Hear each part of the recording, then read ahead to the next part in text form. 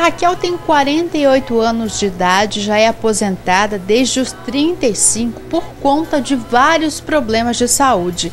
A dor parece que é sua companheira, né, Raquel? Infelizmente, elas começaram por volta dos 20 anos com uma endometriose. Aham, foi. 21 anos. Aí agravou aos 28, né? Que daí foi quando apareceu a retocolite ulcerativa.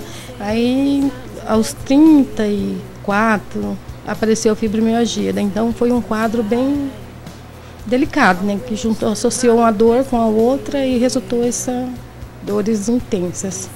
Quando você tinha fibromialgia, que hoje está controlada, né? É, hoje está controlada. Você sentia muita dor? Muita, muita, muita. Não, ixi, dias de crise eu não conseguia pegar nada, fazer nada, só indo para pronto-socorro, voltando, madrugadas, não, tem, não tinha horas, porque morfina, nada, não fazia efeito. E aí chegou ao extremo de você ter que colocar uma bomba injetora.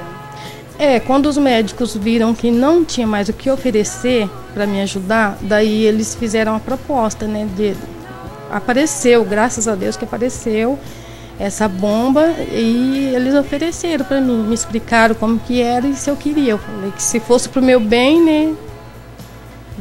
Para tentar, que não, não ia fazer diferença mais. Aí nós resolvemos colocar no final do ano. E aí, como é que tem sido essa experiência? É morfina direto na coluna cervical, é isso? Isso, isso. Tem sido ótima, ótima. Não tenho palavras assim para falar, mas foi tudo na minha vida, porque daí eu estou conseguindo dirigir, eu já viajo, não fazia nada. E qual é a necessidade agora? De quanto em quanto tempo você vai ter que colocar novamente o medicamento? É até seis meses, né? Se passar de seis meses, o médico faz, ele tira o restante da medicação e coloca um ao outro através de uma agulha, sem sedar. Se, se o paciente preferir, no meu caso, eu sou muito medrosa, eu prefiro que cede, né? Mas não precisa. Ele diz que tendo coragem não precisa.